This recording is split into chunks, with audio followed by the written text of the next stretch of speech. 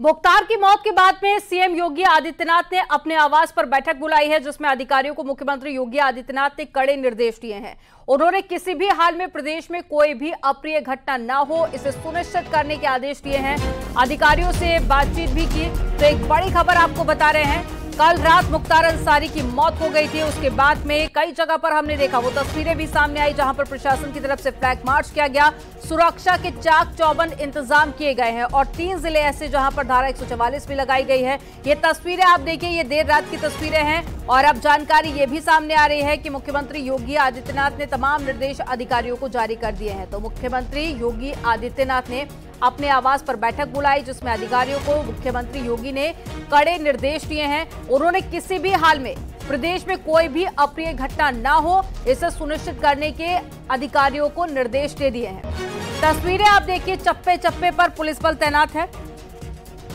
और कल आठ बजे के करीब मुख्तार अंसारी की तबियत बिगड़ी थी। उसके बाद में जब अस्पताल ले जाया गया तो नौ डॉक्टर्स की टीम इलाज कर रही थी और उसके बाद में जानकारी आई कि कार्डियक अरेस्ट के चलते मुख्तार अंसारी की मौत हो गई है। और चलिए रुक करेंगे एक और बड़ी खबर का। दो डॉक्टर पोस्टमार्टम करेंगे, बाकी तीन डॉक्टर भी मौजूद रहेंगे। अभी डेढ़ घंटे पंचनामा भरने में लगेगा और उसके बाद में पोस्टमार्टम की प्रोसेस भी शुरू हो जाएगी।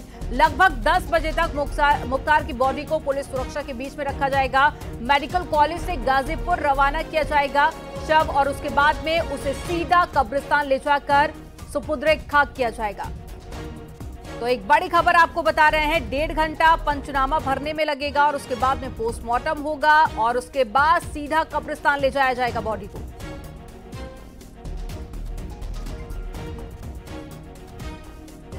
तो चप्पे चप्पे पर धारा 144 लगा दी गई है।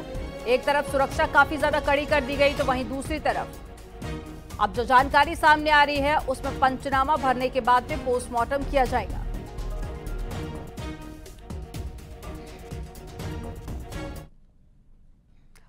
मुख्तार अंसारी का शव गाजीपुर गाजीपुर में ले जाया जाएगा और कालीबाग कब्रिस्तान दफनाया जाएगा। प्रशासन ने कब्रिस्तान का निरीक्षण भी कर दिया है और मोहम्मदाबाद के कालीबाग कब्रिस्तान में शव का सुपुद्र खाक किया जाएगा। पोस्टमार्टम के बाद में ले जाया जाएगा शव। तो जानकारी यह भी मिल रही है कि कालीबाग कब्रिस्तान ले जाया जाएगा मुख्तार अंसारी का शव।